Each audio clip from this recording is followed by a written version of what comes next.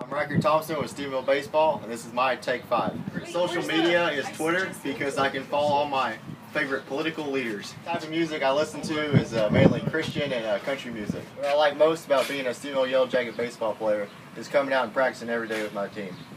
My plans after graduation are to attend TCU in Fort Worth. His teammate is definitely Noah Hobbs. He always has some comment for every situation.